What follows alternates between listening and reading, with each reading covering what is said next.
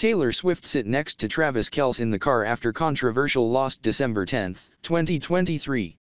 Here are Taylor Swift moments at Travis Kelce's NFL game. She is looking super hot. Pop singer superstar Taylor Swift caught cheering her real-life partner Travis Kelce during NFL game against the Buffalo Bills.